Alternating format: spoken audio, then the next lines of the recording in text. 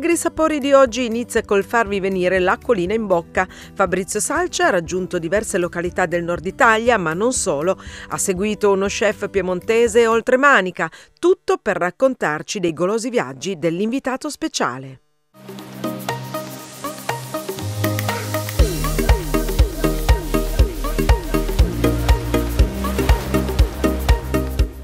Questa puntata di Agri Sapori ritorna l'invitato speciale con i suoi viaggi tra una cucina e l'altra.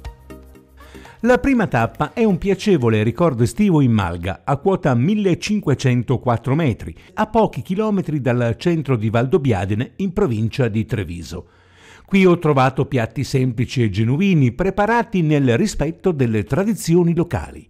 Al mio arrivo gli amici della Malga erano intenti a cucinare la polenta, che poi mi venne servita con dello spezzatino, saporito, caldo e fumante.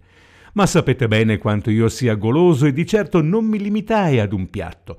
Ecco un bel pezzo di formaggio di malga sempre accompagnato dalla nostra polenta. Ma prima ancora di questi due piatti ebbi il piacere di gustare dei deliziosi quanto saporiti canederli, serviti con il burro fuso di montagna, dei prelibati gnocchi, anche questi impreziositi dal formaggio di altura, e poi ancora la polenta, ma questa volta con i funghi, e un altro particolare formaggio sempre di malga cucinato a parte in padella.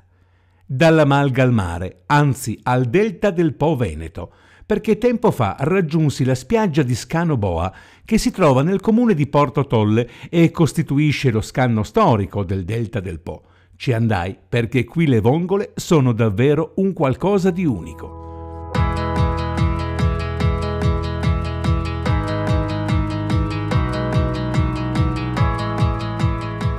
Lasciate le vongole e il delta, fu in provincia di Verona, all'interno di un'altra cucina, che mi deliziai nel vedere prima e nell'assaggiare dopo i bigoli artigianali serviti con le acciughe ma anche in questa cucina caddi nel vizio della golosità e allora dopo i vigoli anche qui degli gnocchi semplicemente scolati e serviti con del sugo di pomodoro. E poi ancora lei, per certi versi la regina della cucina veneta, la polenta e in un'altra pentola il celebre baccalà, da servire poi nello stesso piatto per la gioia dei gourmet più pretenziosi. Ma sapete bene che la polenta ha tanti compagni di viaggio e allora eccola qui con del buon salame artigianale. Per dare un tocco di leggerezza alla mia vista in cucina, ecco un piatto meno impegnativo ma altrettanto buono. Delle semplici uova sode servite con degli asparagi bianchi, tipici di questo territorio. Fu invece in provincia di Vicenza, a Breganze, che trovai sollievo per il mio palato con il torresano. Si tratta di un giovane piccione che non ha ancora spiccato il volo, farcito e cotto sullo spiedo. Qui un piatto della tradizione e preparato a dovere è davvero ottimo. Cambiamo cucina, perché in un celebre ristorante di Treviso, durante uno dei miei tanti viaggi di lavoro, assaporai con piacere dei tortelli ripieni di carciofi, serviti con una crema di panne rabarbaro e dei gamberi di Porto Santo Spirito. Subito dopo una battuta di pezzata rossa, condita con olio, limone salato e pepe, servita poi nel piatto con una crema di melanzane e del pesto di rucola.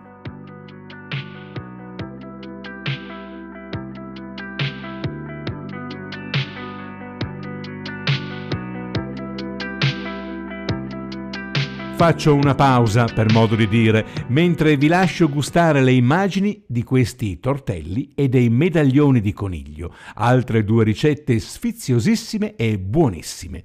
Nel frattempo ho ancora viaggiato e sono entrato in un'altra cucina dove, quando ci arrivai, stavano pulendo un meraviglioso pesce spada. Un lavoro fatto con cura e attenzione da mani decisamente esperte. E poi ecco la preparazione del piatto finale il nostro pesce spada in compagnia di una saporitissima caponatina.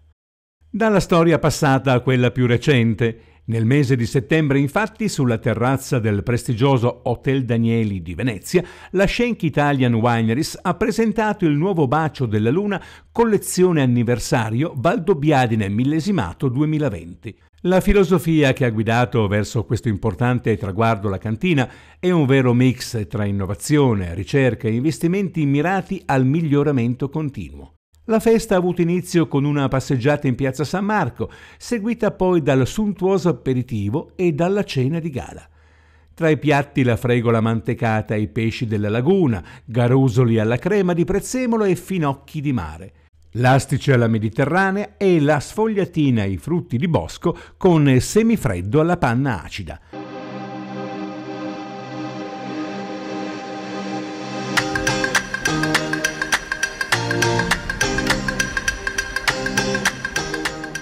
Da Venezia a Londra, perché solo qualche settimana fa lo chef piemontese Fulvio Siccardi, nella capitale inglese al 280 di Kensington High Street, per una serata promozionale dei sapori e del territorio delle Langhe, ha preparato degli sfiziosi finger food, tutti rigorosamente realizzati con prodotti della regione Sabauda e con qualche eccezione sempre squisitamente italiana.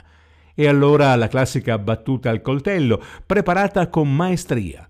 La salsiccia, quella più che buona, condita e servita con la granella di nocciola, il cotechino con le lenticchie, la foglia di cavolo ripiena, il peperone con la bagna cauda, il tartufo nero, il risotto mantecato con il castelmagno, raffreddato, tagliato a quadretti, passato nella semola e fritto. Una vera delizia per i golosi. In poche parole, come incantare Londra con i sapori delle nostre terre.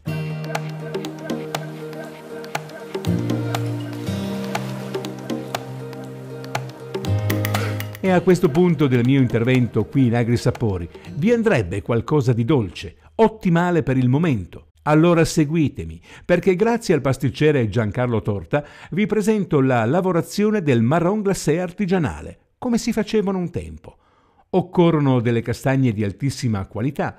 Bisogna pelarle delle due pelli e questo è un lavoro impegnativo ma importante.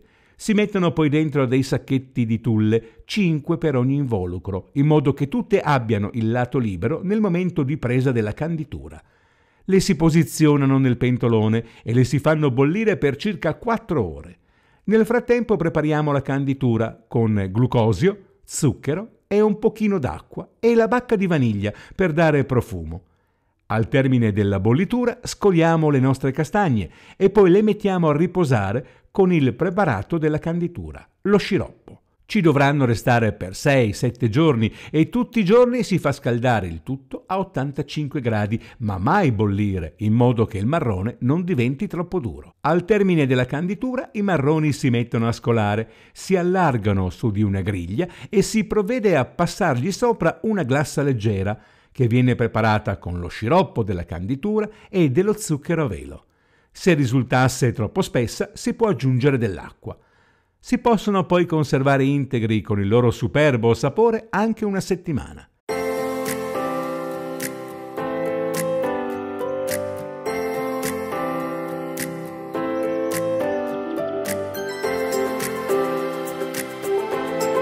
Per questa puntata vi lascio, ma vi aspetto per le prossime, sempre tra una cucina e l'altra, un evento, un appuntamento gourmet, ma sempre qui, su Agri Sapori. Siamo nel Parco Naturale Regionale del Beigua, un'area naturale protetta della Liguria, in un territorio che si estende tra la città metropolitana di Genova e la provincia di Savona e comprende il Monte Beigua. In questo areale tre ragazzi visceralmente legati al proprio territorio hanno creato la loro impresa agricola di elicicoltura. Le loro chiocciole stanno popolando i 60 recinti sugli oltre 3 ettari di terreno dell'azienda nello splendido e incontaminato contesto di Maddalena, frazione di Sassello. Bandite è la località dove si trova l'allevamento ed il nome col quale hanno battezzato le loro chiocciole, che si nascondono ovunque, L'allevamento è a ciclo naturale completo, all'aperto, con alimentazione esclusivamente vegetale, nel rispetto della natura e dei suoi tempi.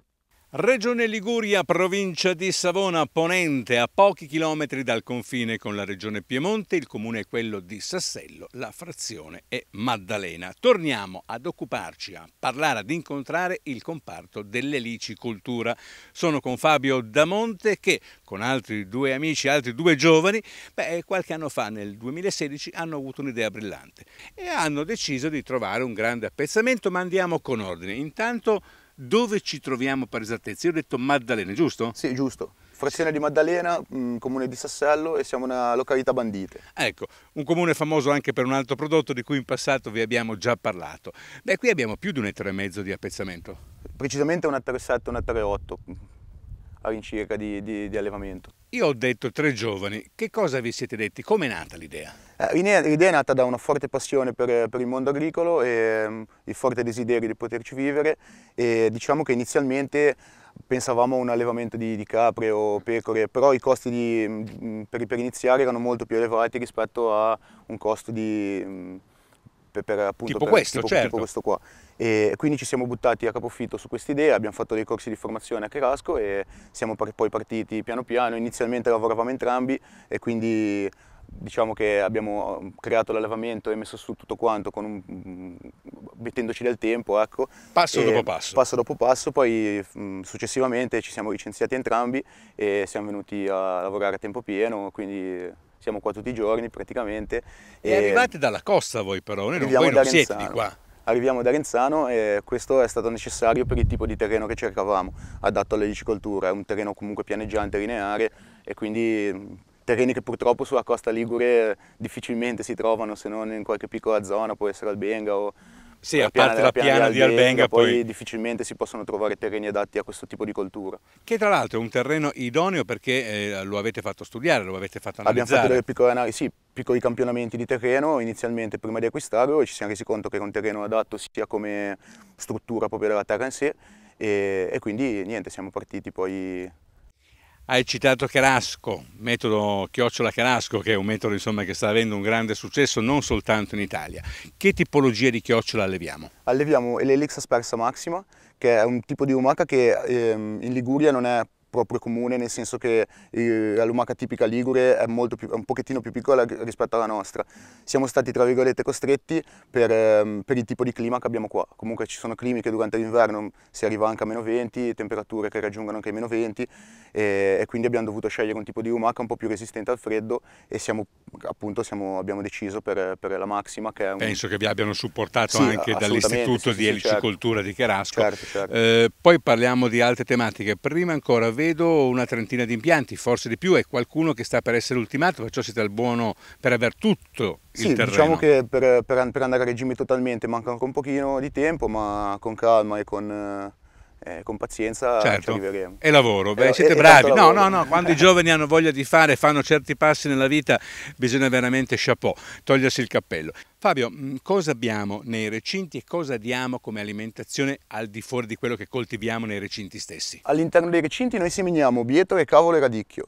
E all'esterno invece poi mm, soperiamo con altra roba seminata all'esterno e coltiviamo un po' di tutto, nel senso che possiamo, abbiamo messo zucche quest'anno, eh, erba medica, cavoli anche all'esterno, bietole certo. anche all'esterno, cioè oltre ad essere all'interno dei recinti poi bietole e cavoli le seminiamo anche, anche esternamente per dargli poi mh, mm, da mangiare dopo e, mm, e poi mh, cioè, qualsiasi tipo di, di, di, di ortaggio, di frutta sì, no, la lumaca predilige l'ortaggio, certo, certo. Ma la frutta la mangia anche, ma il problema è che crea poi marciscenza all'interno dei, dei, recinti, perché fermentando con gli zuccheri certo. crea poi dei problemi successivi a... E sappiamo come il recinto e fuori il recinto più è pulito, più è tutto in ordine e meglio è per meno il benessere animale, certo, e meno ne perdiamo. Parliamo adesso del ciclo produttivo perché mi pare che siate riusciti a fare in modo che non abbiamo i blocchi stagionali, cioè non è che tutto quanto in quel periodo è raccolto ma lo abbiamo suddiviso.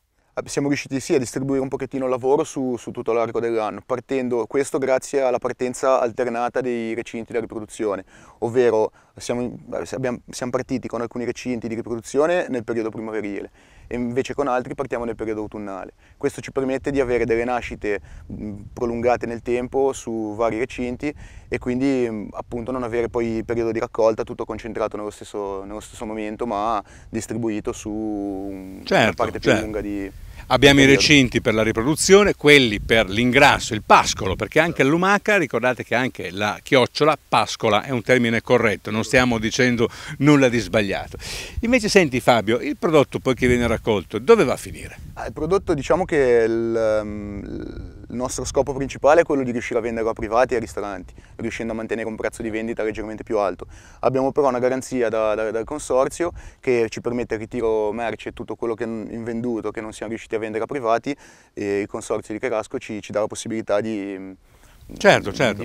Poi loro hanno le loro lavorazioni, io ho visitato più volte il centro, un centro molto importante, molto bello, dove fanno anche dei preparati, delle vere e proprie ricette. A proposito, sappiate che con le chiocciole potete veramente eh, sbizzarrirvi in cucina, perché le possiamo mangiare in mille modi. Un cibo ricco di proteine, Bravo. povero di grassi oltretutto. Quindi è una carne molto importante. È una carne, sì, anche una carne per il futuro, che diciamo che un'ecosostenibilità anche de degli allevamenti e di tutto quello che possono essere eh, le grosse richieste di alimentazione che c'è al giorno d'oggi. Piccolo particolare, la chiocciola è mafrodita. Esatto. Cioè, devono, non c'è maschio e femmina ma devono sempre essere in due. Sì, esatto, possono utilizzare entrambi gli apparati riproduttori ma ne utilizzano sempre uno per volta, quindi l'autofecondazione non, non, non, non è possibile all'interno delle lumache. Hai visto?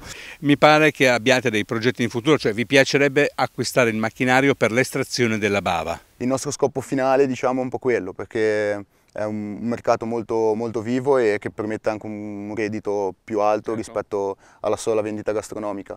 E il vantaggio grossissimo che porta è che la stessa lumaca che che, da cui viene estratta la bava è anche una lumaca che poi può essere messa sul mercato gastronomico.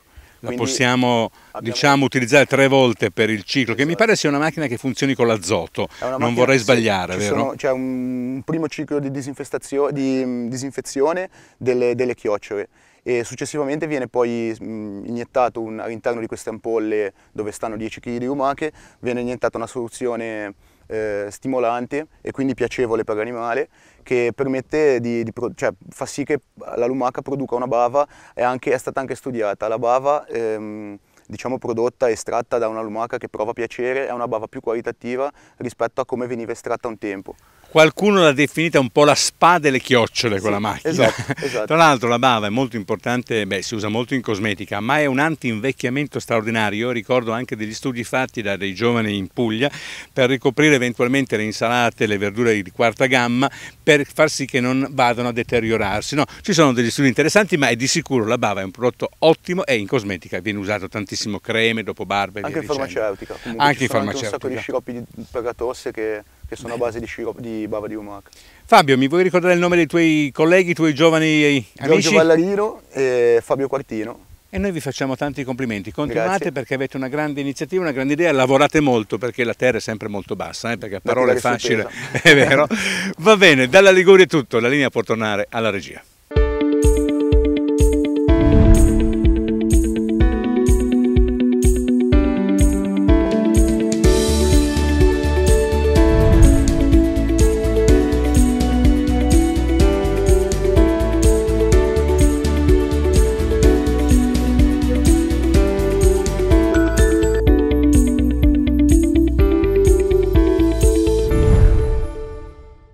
Siamo al Salone del Gusto di Torino, questa grande kermesse mondiale che ci invita anche a raccontare i nuovi messaggi dell'enogastronomia. Quasi in tutta Italia si sta aprendo e aperta la cerca del tartufo bianco pregiato, noi oggi abbiamo voluto raccontare proprio la previsione l'andamento della stagione tartufigena. Anche tra mille difficoltà del cambiamento climatico e della siccità estiva, quella preziosa pepita ha voglia di emergere, di nascere anche perché il micelio può stare in incubazione per mesi. Le piogge naturalmente importanti magari dilateranno a novembre, dicembre, gennaio la presenza del, della preziosa pepita di tartufo bianco, per cui anche quest'anno sarà una bella annata, anche quest'anno la ristorazione italiana potrà accogliere turisti internazionali che amano il tartufo.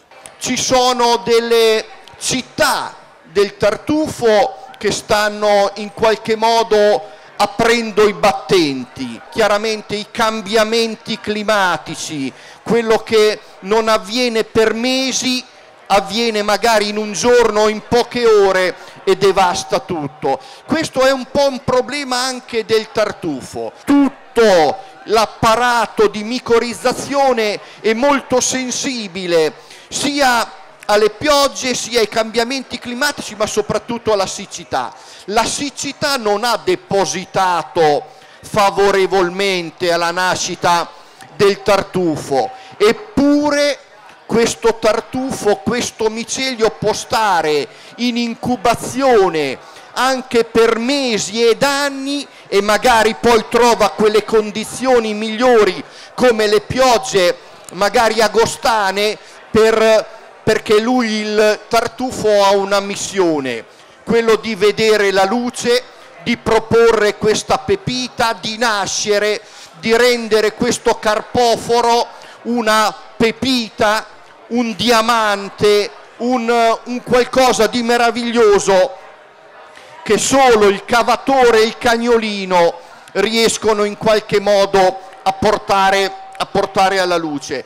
Diciamo che il tartufo ha comunque un alone in tutta Italia, magari dovremo aspettare fine ottobre, primi di novembre, però io sono convinto che fino a, a Natale e anche a gennaio il tartufo bianco darà il meglio di sé. Io credo che in questo momento chiamerei qui con me Caterina, proprio arriva, arriva con grande stile. Ecco, Caterina, io ho parlato del tartufo, delle pepite che si uniranno alla, alla pasta del tuo pastificio. Intanto diciamo da dove, da dove viene, dove è ubicato il pastificio pastificio è ubicato a Borgo Pace, che è un piccolo paesino nell'entroterra delle Marche, della provincia di Pesaro Urbino. Siamo proprio al confine con la Toscana e, e l'Umbria.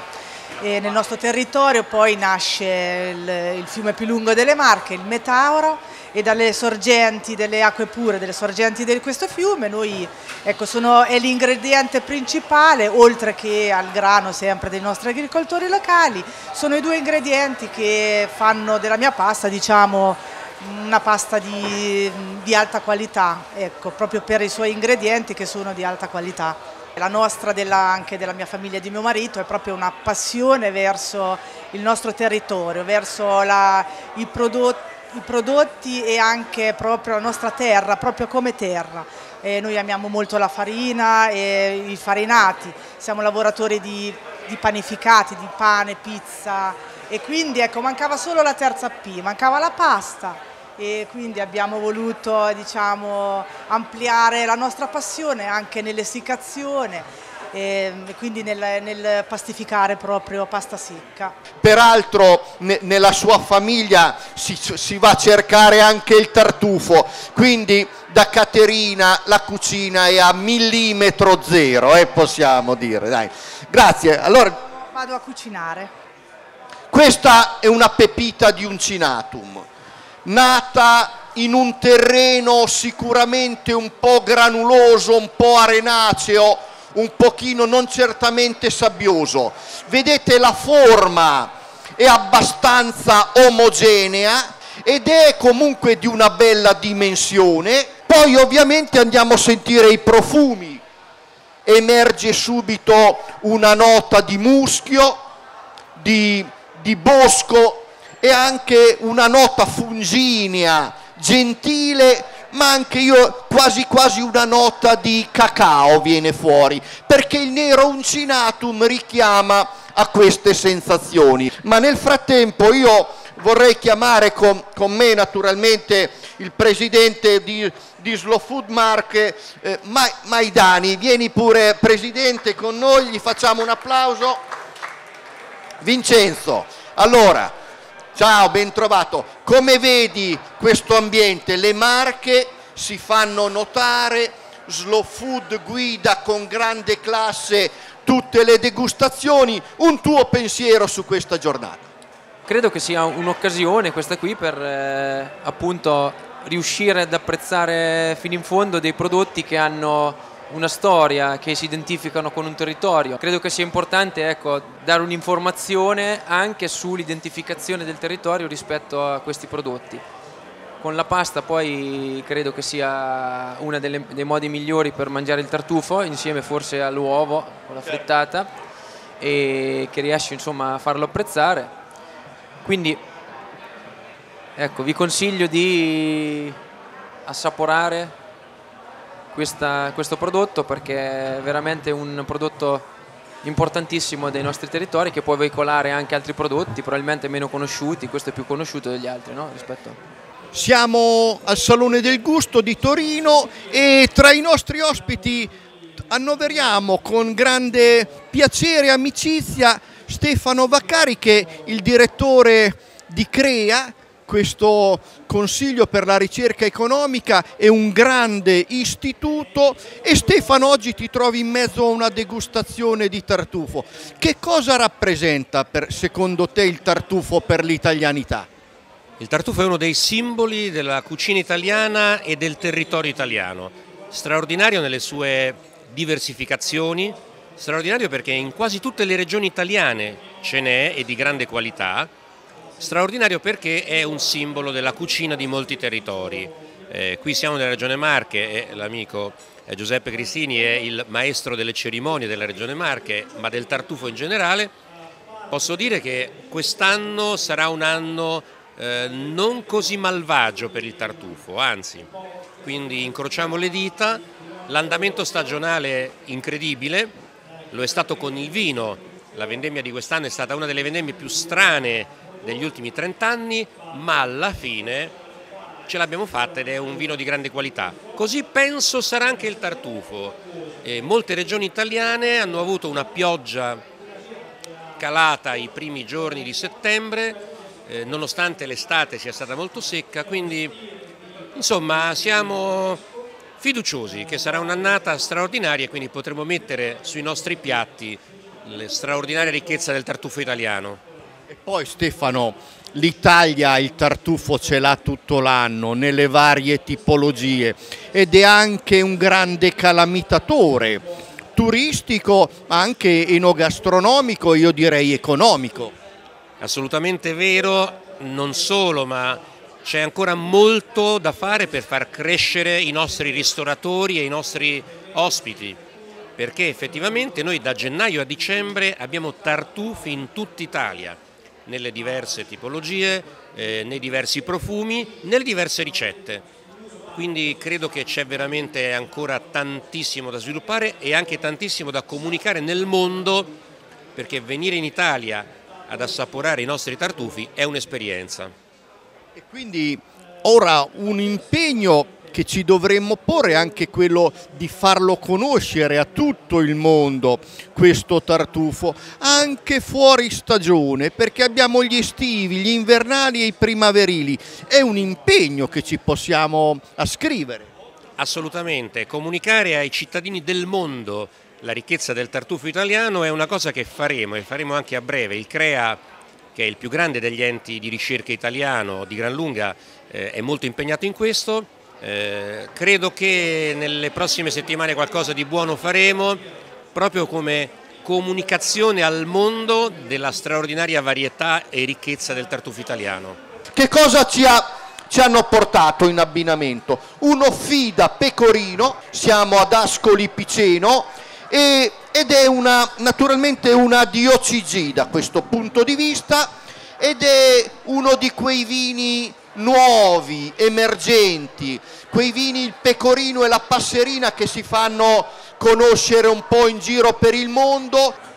Il vino mostra la sua, la sua colorazione di un giallo paglierino quasi che guarda all'oro, sfumature auree. Al naso escono i classici profumi floreali, un fiore bianco molto gentile, ma anche una nota magari così tropicale, ma senza legno in bocca. Fresco, morbido, ma anche con una spinta sapida. Il eh, Salone del Gusto è stata anche l'occasione per presentare il nuovo numero della rivista ufficiale del tartufo italiano, Accademia del Tartufo nel mondo. È un numero naturalmente che mette insieme le difficoltà del momento ma anche le soluzioni e soprattutto un messaggio forte. Salvare il tartufo per salvare il pianeta, quindi massima attenzione anche a come curare i boschi, curare i terreni, ma parleremo anche di cucina e parleremo dei nuovi messaggi internazionali dove un osservatorio permanente del tartufo non è ormai più dilazionabile e anche il nuovo governo ne prenda atto.